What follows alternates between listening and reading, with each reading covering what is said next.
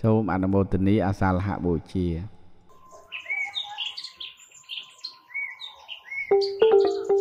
ព្រះរតនត្រ័យមានសង្ឃរតនៈជាគម្រប់3កើតមាននៅ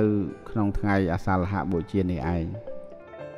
នឿយហត់ផ្លូវកាយឲ្យឈប់សម្រាកនឿយចិត្តលំបាកឲ្យឈប់ខ្វល់គិតនឿយហត់ភ័យព្រួយជាមួយជីវិតឲ្យអប់រំចិត្តប្រព្រឹត្តតាមធម៌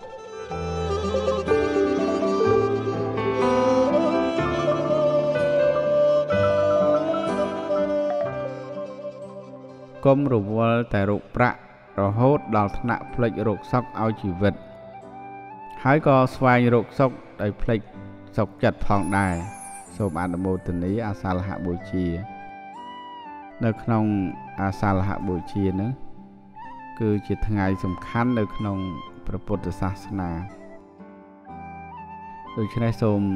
លោកយាយលោកតាពុទ្ធបរិស័ទទាំង បព្វជិតទាំងកុហកក៏បីមានការយល់ដឹងហើយក៏មានការគោរពប្រតិបត្តិ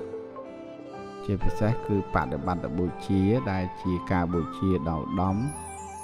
ហើយក៏ជាការនឹករលឹកដល់ថ្ងៃកំណើតព្រះធម៌ផងជាថ្ងៃកំណើតព្រះសង្ឃផងប៉ុណ្ណា